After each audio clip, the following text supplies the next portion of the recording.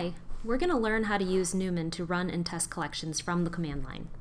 In this video, I'm going to assume you already know about collections environments and how to use environment variables. You should also know how to write tests and run a collection in the Postman app. If not, go ahead and check out some of our other videos first. We'll be running collections from our terminal. You should already have Node.js and Newman installed on your machine. Let's get started in the Postman app. Make sure you have a Postman account and you're logged in. I know how to run this collection called Postman Echo in the Postman app, but now I'd like to run it from the command line. I can click on the ellipsis next to the collection and select Export to download a JSON file of the collection to my machine. If I have an environment that I'm using along with my collection, I can go to the gear icon and download a JSON file of the environment the same way. Let's go to our terminal if I list out the contents of my current directory, you can see that I'm in the directory where the JSON file of my collection is saved. Since I already have Newman installed, I can just type newman run and then the name of the collection file. If I wanted to run an environment along with the collection, I would use the dash "-e flag.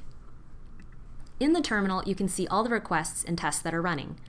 This is the console output, but Newman has custom reporters too. For example, if you'd like to write a JSON or HTML file to your local file system. All right, let's go back to Postman. That was great, but what if I want to make a change to my Postman collection? Do I have to export the JSON file all over again?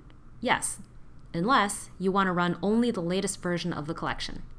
Let's do that using the Postman API. You'll need your Postman API key to access the Postman API.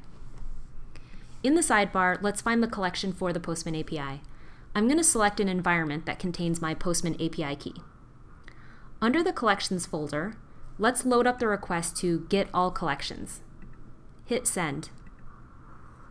In the response body, let's find the collection that I want to run. Let's copy the collection UID to our clipboard. Under the same collections folder, let's load up the request to get a single collection. Paste the collection UID directly into the URL editor. Now previously we authenticated our request by sending our Postman API key as a header called XAPI key. Instead of doing it that way, there's another option to send our key as a query string parameter called API key. Let's do that here.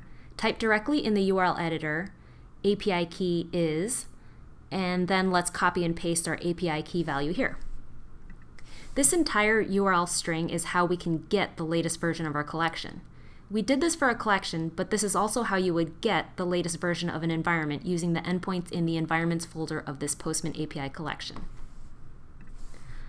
Okay, let's copy this entire URL to your clipboard and head back to our terminal.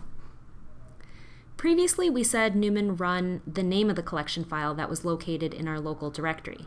Now we can say Newman run and paste the URL we'll use to get the latest version of our collection, and hit enter. Once again, we're running and testing our collection. Like before, this time we can be sure that we're getting the latest version of our collection instead of a static JSON file sitting in our local directory. Now, say you have a continuous integration and continuous delivery or CI CD pipeline, and you want to run these Postman tests every time you kick off the build process. We won't go over that here, but you'd set up your CI configuration to run the same kind of shell command after kicking off the build. This Newman script will return a pass or fail exit code that's logged in your CI system. And that's it. We talked about using JSON files to run collections and environments. Then we talked about a better way by using the Postman API to get the latest version of a collection and environment. In this way, we can use Newman to run Postman tests every time your CI-CD process kicks off a new build.